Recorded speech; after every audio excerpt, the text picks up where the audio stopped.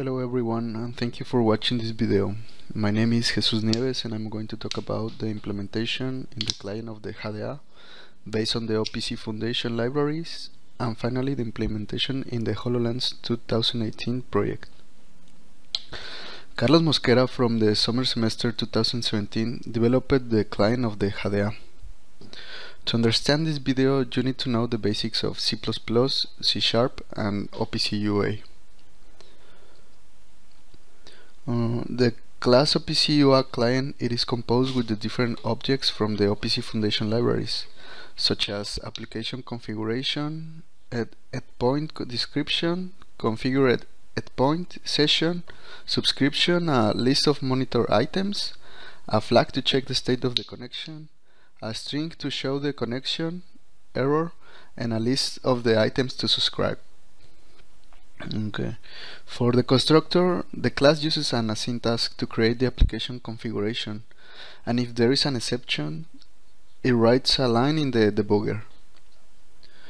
Alright guys, the async task basically what it does is create the configuration of the application with the name of the application, the type of the application, the application URL, and the security configuration.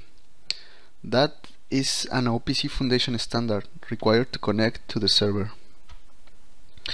Then validate the configuration. After that, check if the application has a certificate. If not, then create a new application certificate.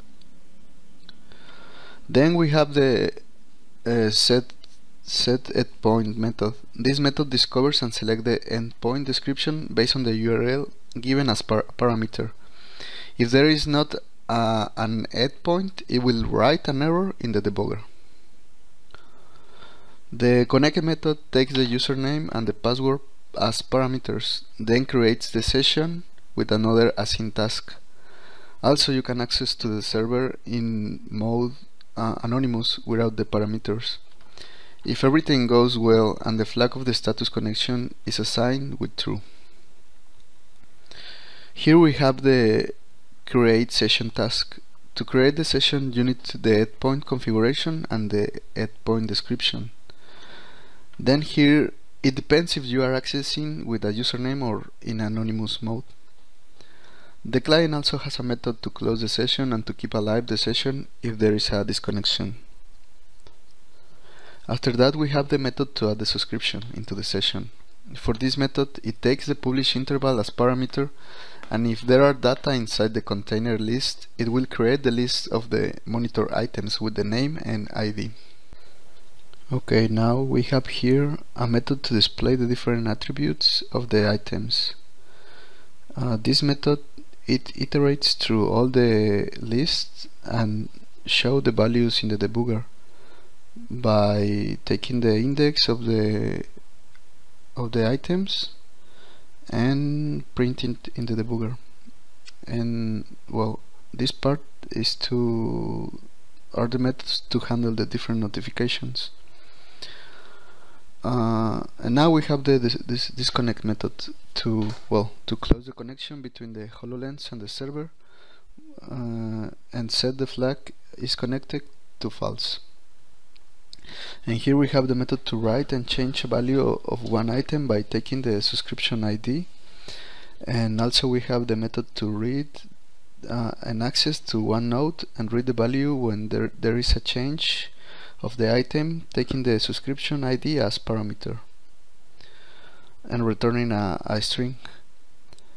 Uh, at the end we have uh, two supporting classes to use the data of the items like the name, node ID, value and status.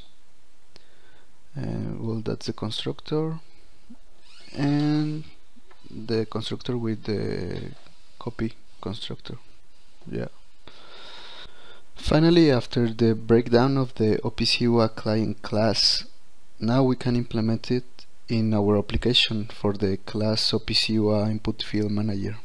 Here we have the attributes of the interface and attributes necessary for the monitoring of the items of the two servers. Uh, then we have the start method which it is executed only the first time you open the application. Here we have the URL of the two servers uh, the name of the of the items in this case of each station and the ID of the subscription um, well here we have for the optimize and for the normal server. Uh, then here we create the object of the OPC UA client and use the different methods that we that I explained before. Here we have the connect.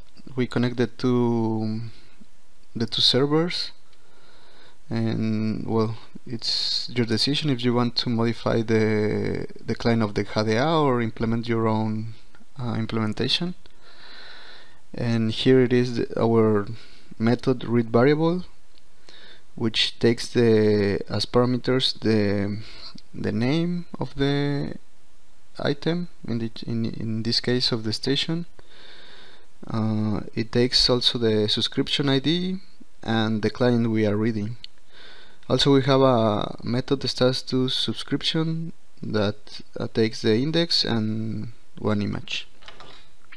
Okay guys and this is everything uh, of the video.